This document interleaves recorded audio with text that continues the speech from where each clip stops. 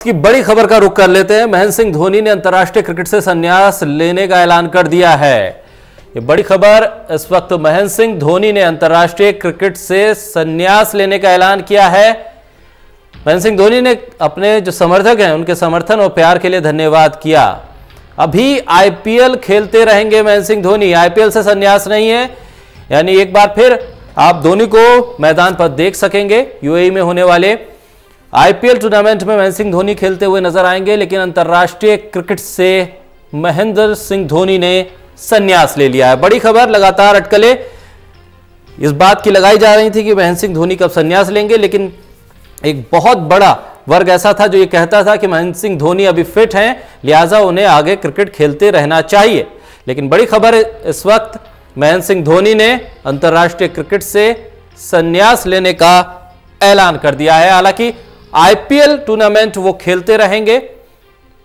उनके समर्थक और उनके जो प्रशंसक है, वो उनको यूएई में होने वाले इस सीज़न के आईपीएल टूर्नामेंट में देख पाएँगे। वो आईपीएल खेलते रहेंगे, हालाँकि अंतर्राष्ट्रीय क्रिकेट से उन्होंने संन्यास ले लिया है। महेंद्र सिंह धोनी एक लंबे वक्त से भारतीय क्रिकेट टीम के साथ जुड़े रहे टी ट्वेंटी वर्ल्ड कप हो या फिफ्टी फिफ्टी वर्ल्ड कप। दोनों ही वर्ल्ड कप उन्होंने भारत को दिलवाए और उसके बाद लगातार वो टीम के साथ बने रहे।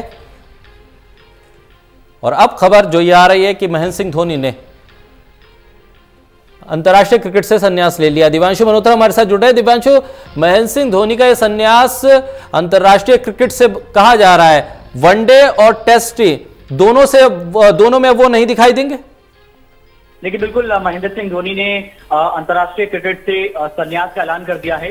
और अब महेंद्र सिंह धोनी अंतर्राष्ट्रीय क्रिकेट में ना ही टेस्ट मैच खेलेंगे, ना ही वनडे खेलेंगे और ना ही टी ट्वेंटी खेलेंगे।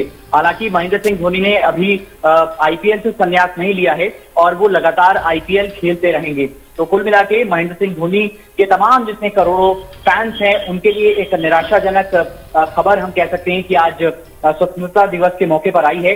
हालाँकि जो पिछला वर्ल्ड कप इंडिया हारी थी, तभी से महेंद्र सिंह धोनी जो है काफ़ी निराश चल रहे थे। उनके चेहरे से साफ़ उनकी जो चीज़ें हैं वो समझी जा सकती थी। और उनके जो फैंस हैं वो कयास लगा रहे थे कि कभी भी महेंद्र सिंह धोनी जो है वो अंतर्राष्ट्रीय क्रिकेट से संन्यास ले लेंगे। लेकिन आज उन्होंने जिस तरीके से फैसला किया है, ये ऐलान कर दिया है कि अंतर्राष्ट्रीय क्रिकेट में वो जो है अब नहीं खेलेंगे। ज़ाहिर सी बात है, महेंद्र सिंह धोनी की अब उम्र भी काफ़ी ज़्यादा बढ़ गई थी और कहीं ना कहीं आने वाले वर्ल्ड कप में भी अभी चौदह से पंद्रह महीने बचे हैं। ऐसे में उम्र के हिसाब से भी हम कह सकते हैं कि एक फैसला महेंद्र सिंह धोनी की तरफ़ से लिया जाएगा। लेकिन एक लंबी चौड़ी पारी उन्होंने अंतर्राष्ट्रीय क्रिकेट में खेली है और कई हज़ार उन्होंने रन बनाए हैं, कई रिकॉर्ड बनाए हैं और उनका जो हेलीकॉप्टर शॉट है, वो कहीं ना कहीं न केवल हिंदुस्तान में उनके हेलीकॉप्टर शॉट के फ़ैन है, बल्कि पूरे वर्ल्ड में कई उनके फ़ैन हैं। तो ऐसे में एक निराशाजनक खबर हम कह सकते हैं महेंद्र सिंह धोनी के लिए, लेकिन पॉजिटिव खबर यह है कि अब आने वाले